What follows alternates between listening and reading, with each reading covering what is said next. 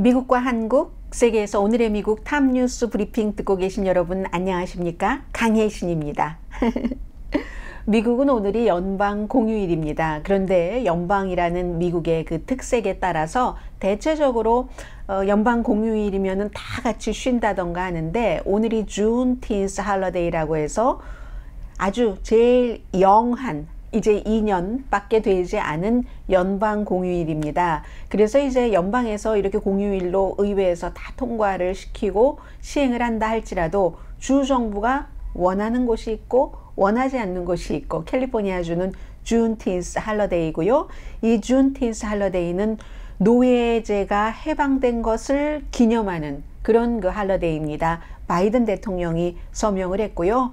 아주 오래전부터 African American들은 이것을 원했지만 미국의 뭐 여러 가지 사정상 인종이 뭐 한두 인종이어야지 말이죠.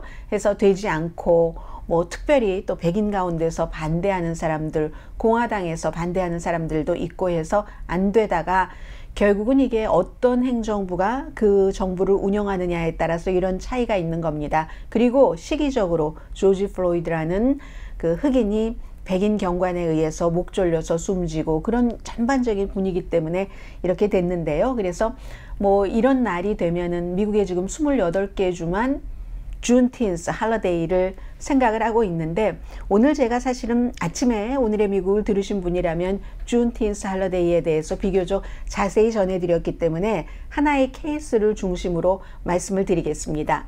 Juneteenth Day 하니까 이제 African American들에게는 정말 독립기념일처럼 중요한 날인데요. 딱 이 예를 들어드리겠습니다.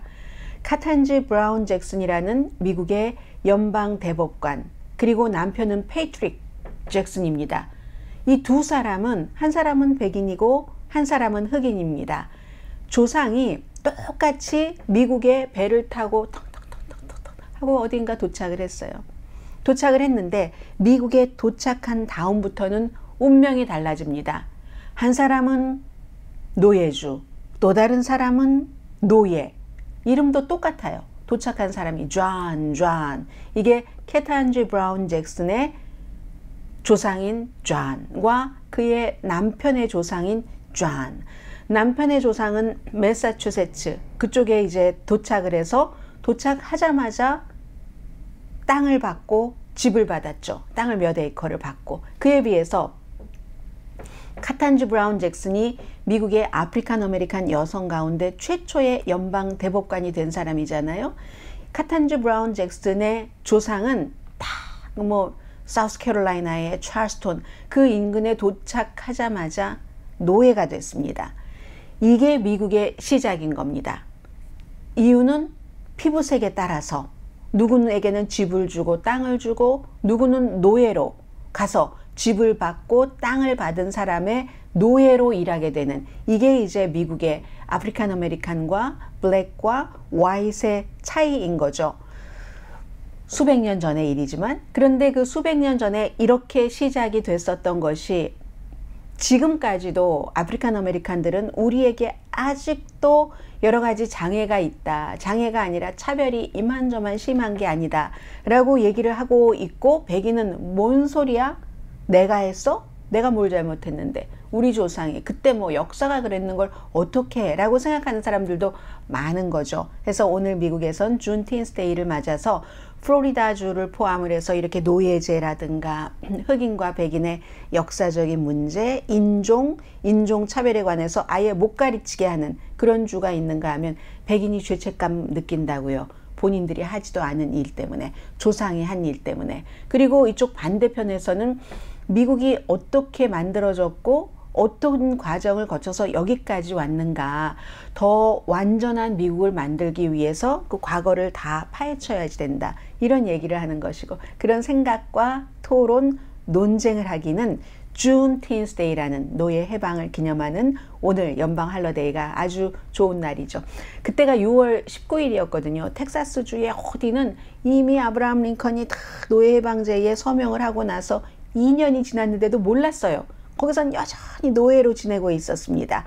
그래서 그때 최종적으로 가장 나중에 노예제가 해방됐구나 하는 것을 안 텍사스주 그 노예들 6월 19일이었거든요. 그래서 6월과 19일 합쳐서 Juneteenth Day로 해서 지금 하고 있습니다. 아무튼 이리 이리해서 카탄지 브라운 잭슨 부부는요 원래 하버드 대학교에서 만났어요. 남편이 백인이지만 이 그 가문을 쭉 거슬러 올라가면은 영국 영국계죠. 영국계여서 이제 영국의 어떤 무슨 뭐 왕의 뭐 에드워드 왕 뭐 이를테면 그런 사람들의 후손이 이렇게 이렇게 돼서 이렇게 됐다 했는데 캐탄지 브라운 잭슨 연방 대법관의 남편이 하버드 대학교 다닐 때부터 그렇게 사회 정의에 관심이 많았습니다. 이 사람은 그 위장 그 외과 의사예요. 워싱턴 DC에서 지금 그 오피스를 하고 있는데 하버드 대학교 다닐 때 역사학과에서 카텐지 브라운 잭슨을 만났거든요. 만났는데 이 백인 이 남자가 사회 정의가 이렇고 흑인 역사가 이렇고 이렇게 이렇게 하다가 만난 거예요. 그래서 카탄지 브라운 잭슨의 부모님도 플로리다 마이애미 쪽인가 그렇거든요. 거기에 살았는데 아버지는 어떤 마이애미 교육구에 어, 아주 제일 그 책임 있는 변호사로 일을 했고 어머니는 학교 교장 선생님이셨고 해서 이제 두 사람이 이렇게 흑백이 만나게 돼서 나중에 알고 보니까 이런 스토리들이 있었다 하는 얘기입니다. 아무튼 색깔이 달라서 미국에 도착하는 순간부터 이제 인생이 달라지는 거죠. 인생이 달라지는 이제 그런 것. 그래서 이 캐탄지 브라운 잭슨의 남편 집에는요, 메사추세츠 그쪽이니까 뭐 주지사도 뭐 10명도 넘게 있었고, 대통령, 부통령과 관련되는 이런 뭐 피해 관계, 혈연 관계 같은 것들이 굉장히 많답니다. 아무튼, 그렇고요 그리고 이제 오늘 중요한 뉴스는 결국은 미국의 국무장관이 베이징에 가서 왕위, 최고 외교관과 그리고 외교부장과 주석까지 만났는데 이게 결국은 시진핑 주석과 바이든 대통령의 정상회담까지 연결되는 통로인가? 이걸 이제 봐야지 되는 거죠. 그 점을. 가서 차이도 우리가 많지만 적어도 우리는 서로의 차이와 긴장 상태 때문에 뭔가 더 이게 긴장보다 위험한 관계로 가서는 안 된다. 그거 하나는 합의를 했답니다.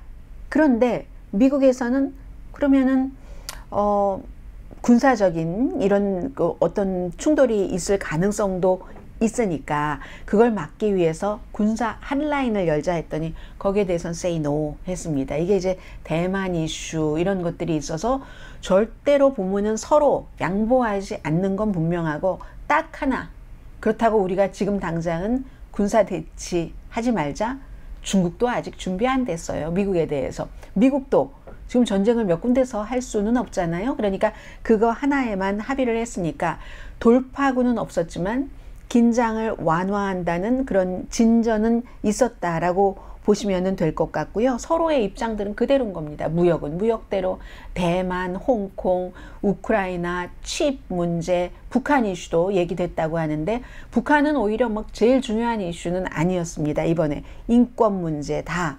이 차이를 어떻게 극복할 것인가. 뭐 왕이나 친강 외교부장이라든가 이런 사람 가지고 안 되고 뭐 한 사람과 세시간한 사람과 일곱 시간 넘게 친강 외교부장과 회담을 했다고 하죠. 그리고 마지막에 만나줬습니다. 시진핑 중국 국가주석은 그래서 35분 정도 만나서 합쳐보니까 11시간이 넘었어요. 이틀 동안에. 이틀은 48시간, 잠자는 시간, 또 그 사이에 뭐 밥 먹고 뭐 다 피하면은 굉장히 많은 시간이죠. 11시간 동안 회담을 했었다는 것. 아무튼 협력을 하겠다 하는 서로의 뜻은 확인을 했고요. 시진핑 그 주석도 마찬가지입니다. 그리고 제가 이렇게 보니까 미국에서는 미국 나름대로, 중국에서는 중국 나름대로 좋아하는 사진이 있습니다. 외교적인 어떠한 일이 있었을 때. 그런데 그래서 비디오를 봐야지 됩니다. 왜냐하면 사진은 순간을 포착하는 거니까. 이게 지금 시진핑 중국 국가주석이 어쨌든 미국 국무장관을 만나줌으로써 체면을 차리게 했습니다. 미국이. 이 사람은 주석이고 이 사람은 국무장관인데 뭐 사이가 그동안 나빴으니까 안 만날 수도 있었던 것을 지난주에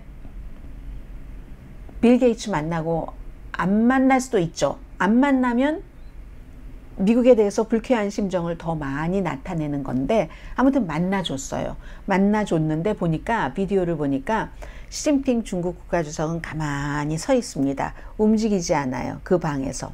아주 정말 중국을 상징하는 중국의 그 거대한 규모와 이런 것을 상징하는 곳에서만 만났잖아요. 세 사람 전부 가만히 움직이지 않고 서 있습니다.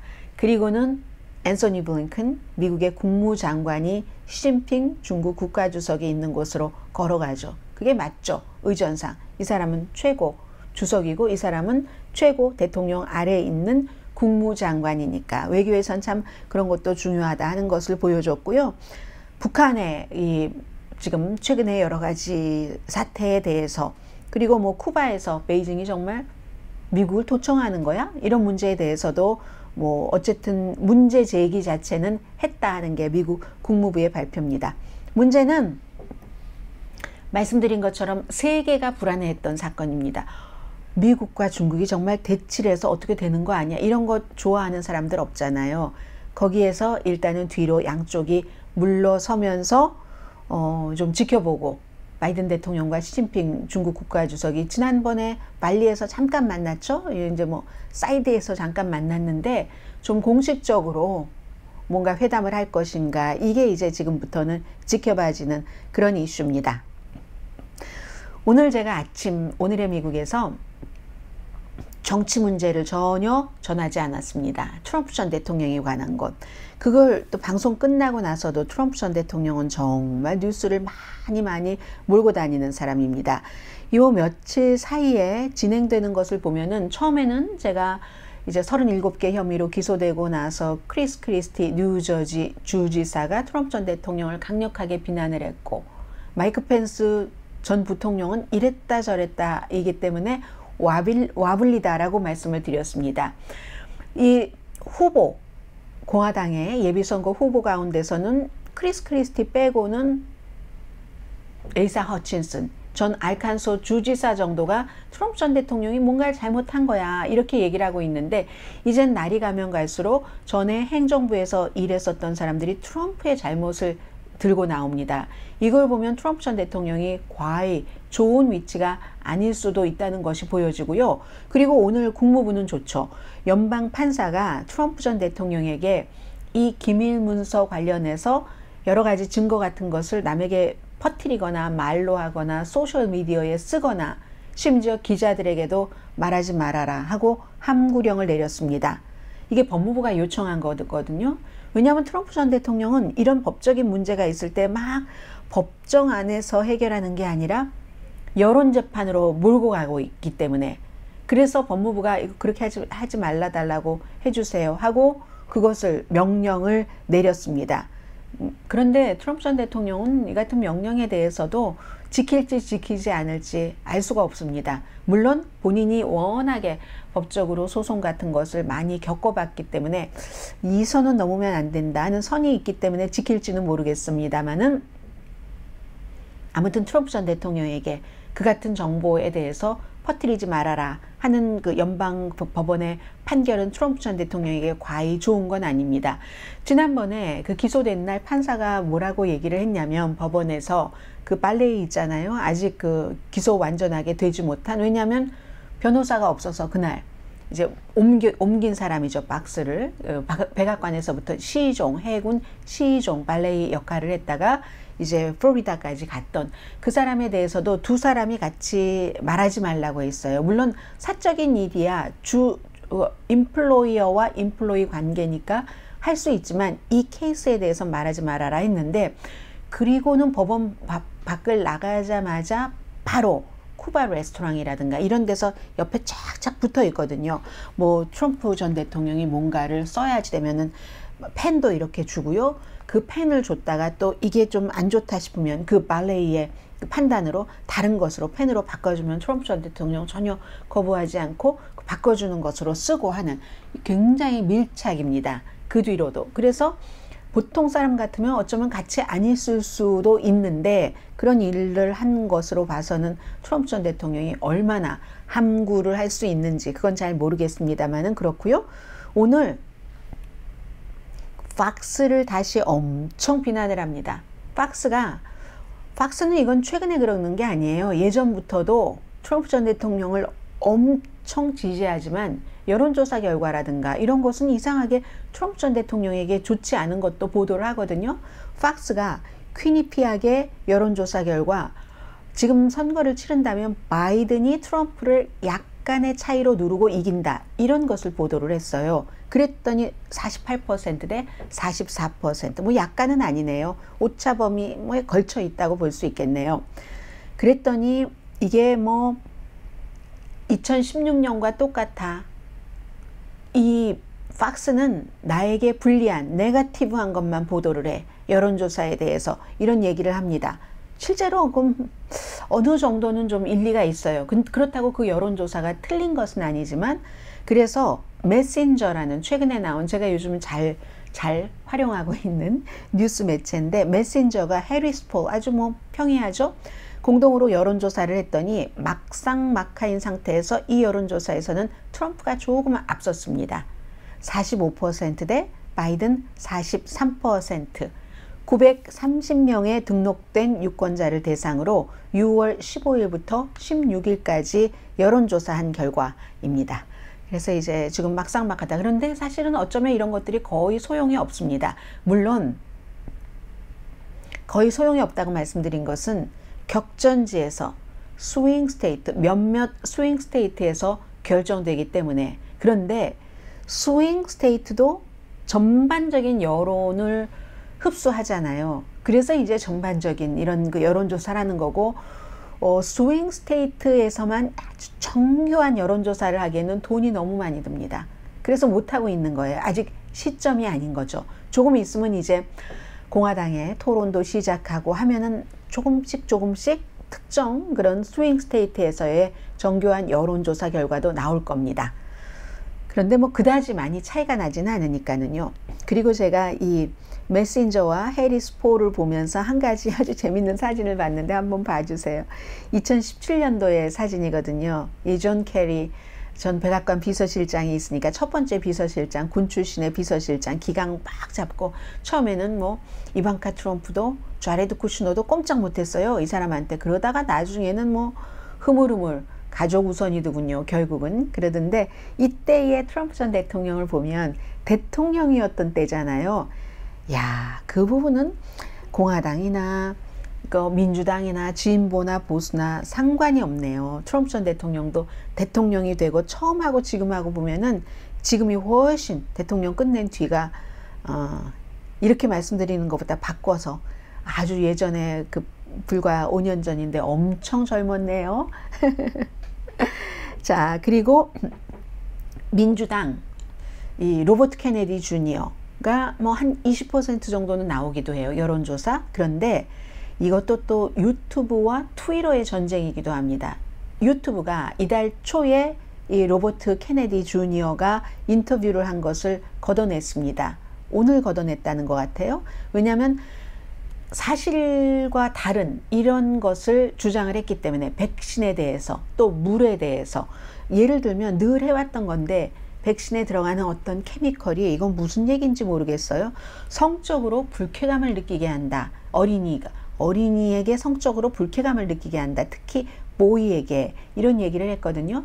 이 사람은 항상 백신을 믿지 않는 사람이고 백신이 자폐를 일으킨다 뭐 이런 얘기를 해서 트럼프도 마찬가지 주장을 했었잖아요. 물론 민주당입니다만 이 사람은 그런데 그것이 질병통제국이나 많은 보통 세계보건기구나 어, 일반적인 그 보건 전문가들의 의견과는 너무 완전히 다르기 때문에 유튜브는 그걸 기준으로 해서 내린 거죠. 이게 이제 그 로버트 케네디 주니어가 조던 피터슨이라는 사람과 인터뷰를 한 겁니다. 그렇게 내리고 그 인터뷰에 보면은요, 물에도 화학약품이 들어있어서 뭐가 나쁘고 뭐가 나쁘고 하는데 그 물에 들어있는 그 화학약품 자체가 옥수수라든가 뭐 sweet corn이라든가 수수라든가 이런 것을 재배할 때도 쓰는 그런 것이고 적정 무슨 뭐 소독이라든가 하려면은 뭐 들어가야지 되는 부분이 있잖아요.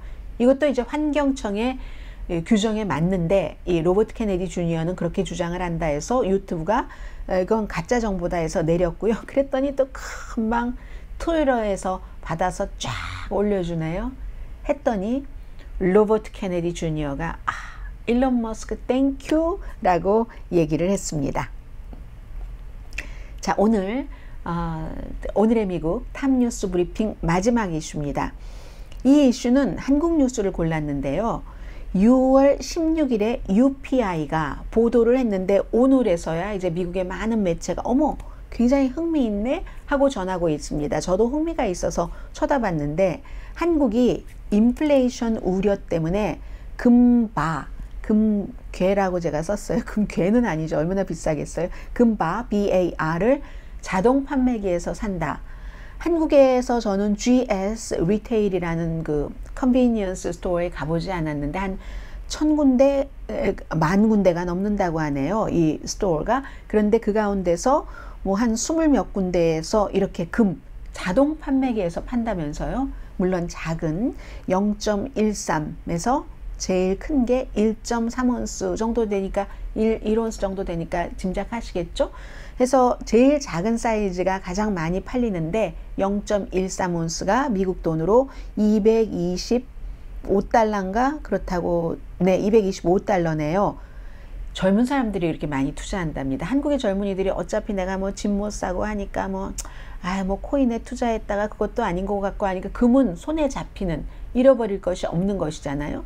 특히 미국에서 3월 달에 실리콘밸리 뱅크가 파산을 한 뒤에 한국에서 이렇게 자동 판매기를 통해서 이제 금을 사는 젊은이들이 늘어난답니다. 지난 9개월 동안 1,900만 달러 매출을 올렸다고 하네요. 9월 달에 머신을 놨군요. 그래서 20대와 30대가 주요 구매자라고 하고 금에 투자한다는 얘기인데 뭐 올해 안에 50개의 이런 그 자동 판매기. 야, 한국은 정말 아주 새로운 것들이 너무 많아요. 여기까지 오늘의 미국 탑뉴스 브리핑 강혜신이었습니다. 내일 아침 오늘의 미국 정규 방송 시간에 뵙겠습니다.